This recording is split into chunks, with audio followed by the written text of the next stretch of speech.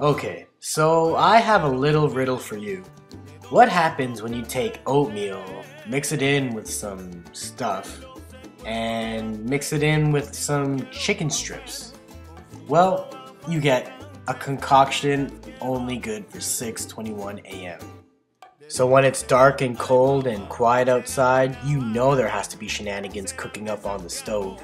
So standing behind the master chef herself, you just have to wonder, is this and can this food be edible?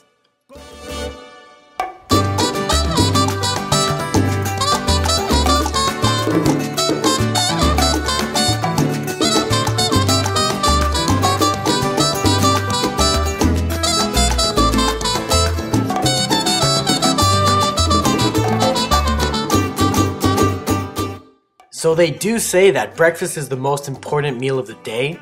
So I guess you better start it off like a champion.